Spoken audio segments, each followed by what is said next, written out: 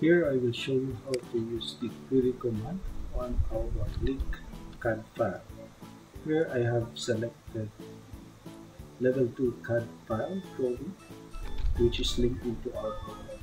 As you can see, once you click it and select the CAD file, the query commands pop So this is can only be used in the link CAD or imported CAD file.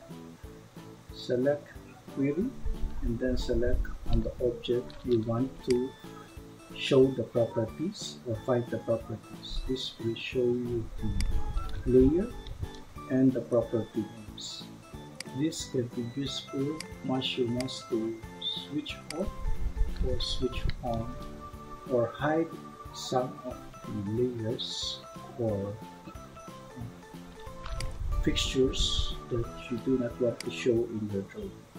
Here we select the table and the layer name is A700 MFLE-1. Let's go to manage, management and go to tab formats and then let's here we cannot use because we're using the view template let's go to the view template which is the architectural plan let's select Droid PG override input. Here we have the list of the CAD files. Let's select level 2 and from here you can see the list of the layers. Here we're looking for A700. We'll select the three items, apply and then click OK. You can see the fixture and the tables are already off you can turn it on again. Let's go to architectural plan. And select the VG overrides for input. Go to level 2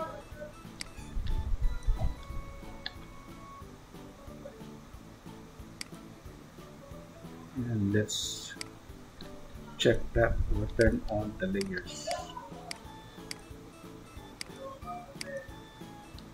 now you can see that all the furnitures are already shown on the link CAD file. So this is how to use the query command to find the properties and the layers of the imported or linked CAD file in a Revit model. Here we'll try again and select some other furnitures. So it's the same layer. This is the link CAD file name click OK and then select. Press escape to escape the query command select and then again select another uh, furniture. So that is how to use the query command. Thank you